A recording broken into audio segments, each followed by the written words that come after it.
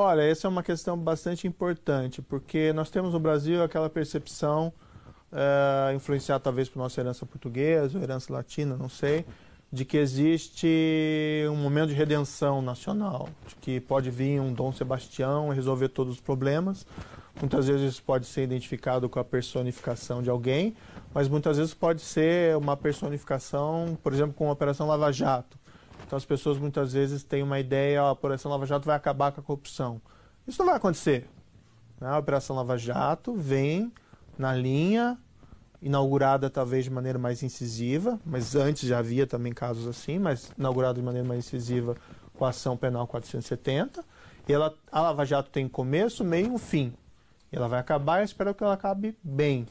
Mas novos casos de corrupção certamente vão surgir e que vão exigir novos desafios por parte das instituições brasileiras, certo? O que era importante é aproveitar esse momento para que nós pudéssemos, vamos dizer assim, reduzir a corrupção a níveis mais toleráveis. Tolerável é uma palavra complicada, porque a corrupção nunca é tolerável, mas nós não podemos ter a ilusão que nós vamos eliminá-la por completo.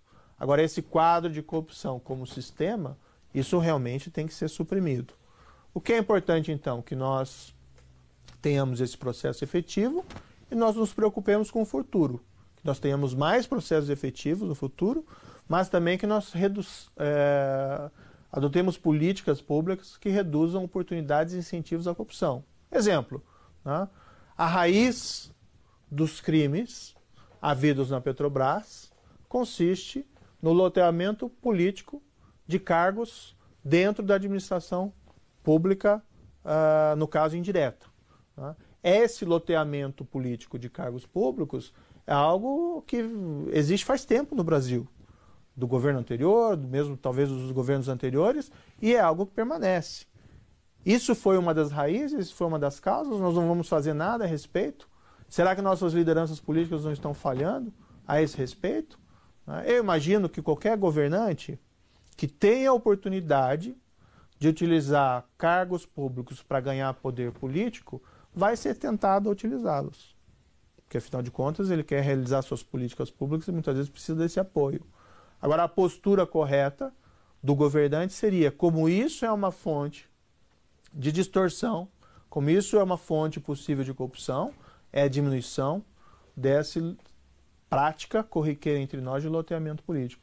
Por isso que eu sempre digo: olha, é preciso ter mais do que processos judiciais contra a corrupção.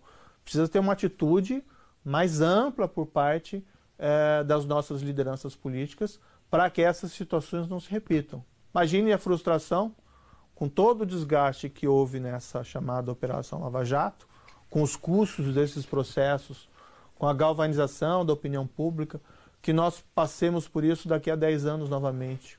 Não como Lava Jato, mas com algum outro processo. Então nós estamos nos preocupar exatamente com diminuição de incentivos e oportunidades da corrupção, que não se faz por processos criminais.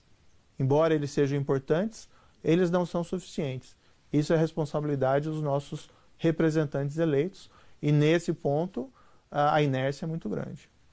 Dale, dale, dale. Dale, dale, dale, dale.